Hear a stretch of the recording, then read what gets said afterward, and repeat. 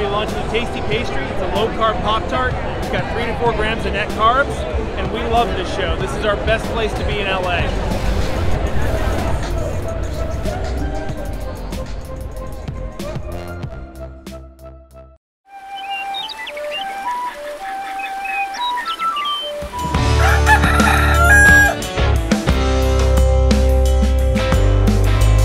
Welcome back to Legendary Foods Muscle in the Morning.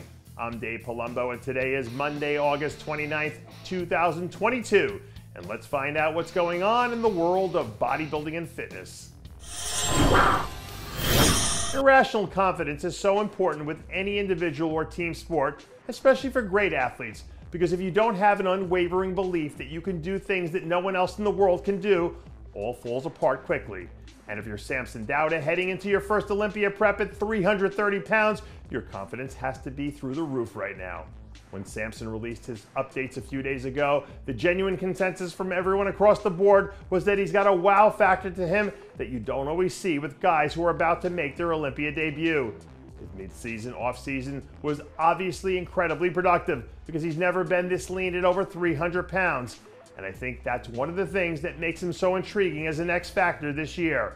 His trajectory still feels like it's trending up, which means that if he can put together another solid stretch over the next four months, he could be looking at a top 10 finish and better when it's all said and done. Since we're already talking about open X Factors, we figured that this was a good time to segue into the new update from Hassan Mostafa, because he's also someone who has the potential to be a part of those top 10 conversations this year.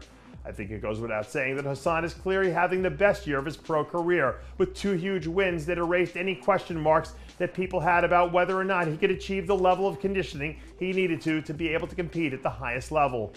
For Hassan, the conditioning was the final piece, because we've known for a long time that he checks almost every other single box across the board. So if he stays consistent, and does what he does all year long, there's no reason to think that he can't challenge Samson for a spot somewhere in that top 10 group. Next up, we have a new update from longtime friend of the show, Patrick Moore, who seems like he's really starting to hit his stride now. Recently, Patrick came out and confirmed that he underwent surgery back in May for a ruptured Achilles tendon, which put him on the sidelines for a few weeks while he dealt with the fallout of that. According to Patrick, this was the first major injury or setback that he's had to deal with in his pro career, which can be a lot, especially with these type of injuries that seem to come out of nowhere. But at least for the moment, 14 weeks post-surgery, he feels good about where he is and believes that he's on track to hit the 2023 season head on as a bigger and better version of what we saw during last year's Olympia run.